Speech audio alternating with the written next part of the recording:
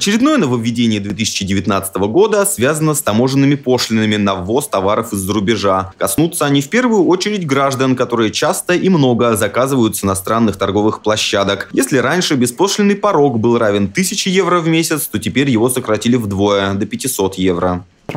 И теперь при э, заказе посылок необходимо будет оплачивать пошлину свыше 500 евро. То есть, если вы сделали заказ на сумму 550 евро, вы будете должны заплатить пошлину в размере 30%, это 15 евро. 15 евро – это 30% от 50 евро.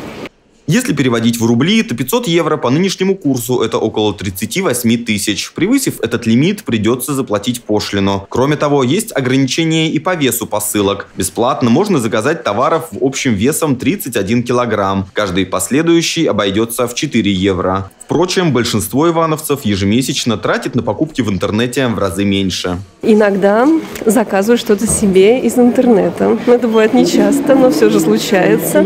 И сумма заказа не превышает 500 евро. Поэтому пока что данный закон не, на меня не подействовал, поэтому все в порядке. Порог в 500 евро не предел. В 2020 году его понизят до 200, а это около 15 тысяч рублей. Стоит ожидать и снижения допустимого веса, который не облагается пошлиной. Переплатить придется тем, кто заказывал тяжелые и дорогие автомобильные или велосипедные запчасти из-за рубежа. Влетит в копеечку и покупка смартфона, если отправитель находится за пределами России. Посылки я заказываю достаточно часто с э, интернет-сайтов за рубежа.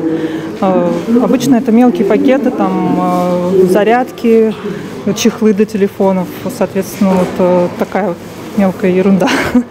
Если мы опустим планку, вот, ну, если вот введут этот закон, опустят планку, то уже, например, телефоны, которые мы заказываем, я много родственникам уже покупал телефоны, то мы их уже не сможем получить. Впрочем, если обратиться к мировому опыту, то в России на сегодняшний день весьма либеральные таможенные сборы. На Западе беспошлинный порог колеблется от 20 до 50 евро. К слову, Федеральная таможенная служба еще летом прошлого года предложила облагать пошлиной абсолютно все покупки в интернет-магазинах. Максим Серебряков, Денис Денисов, РТВ Иванова.